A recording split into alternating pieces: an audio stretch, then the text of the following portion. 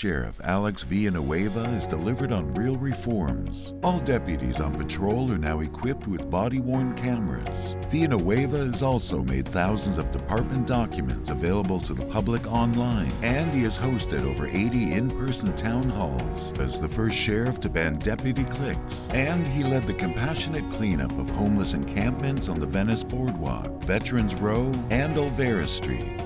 Re elect Sheriff Alex Villanueva